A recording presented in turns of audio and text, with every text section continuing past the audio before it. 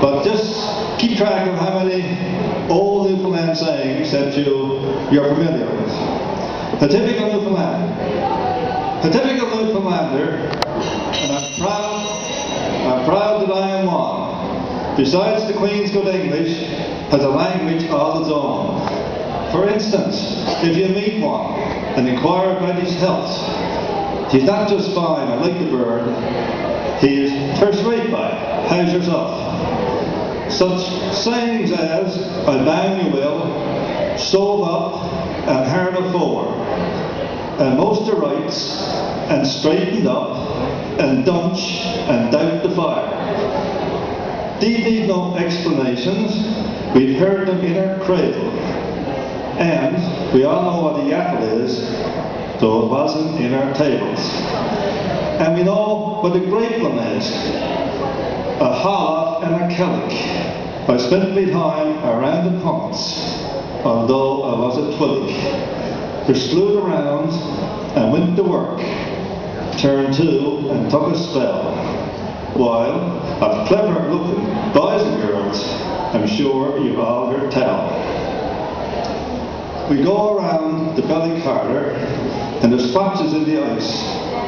And only a Newfoundlander can fall down and get a hoist.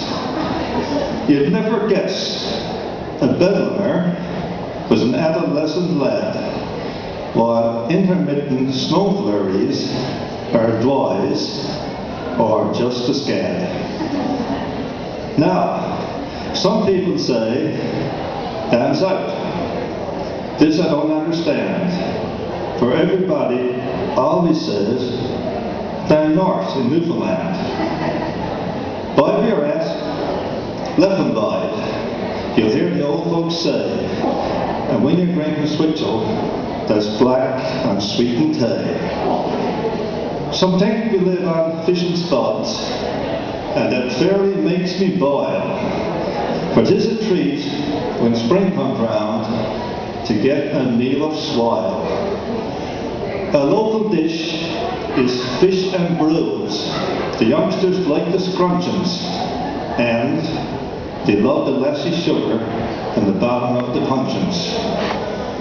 We used to have such hearty grub as toutons, duffs, and tarts, but the maids are gone romantic with their cookies shaped like hearts. And poor grandpa, he's all crippled up with rheumatiz, not gout. He keels out on the settle, and he says he's fair worn out. Sometimes he gets his dander up because he's lost his spring. He frets and grumbles when he thinks how his work is all in slings. And does your house be in a rerah? I'm sorry, does your clock be sometimes random?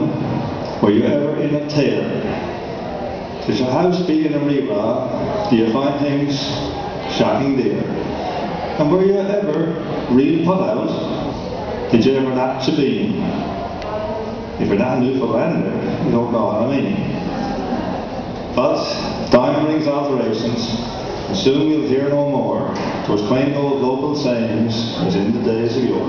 But in my heart, I treasure them, till always seem to be a simple part of home sweet home, a simple man like me. But that poem was written by Rose Sullivan from Trinity, probably 70 years ago.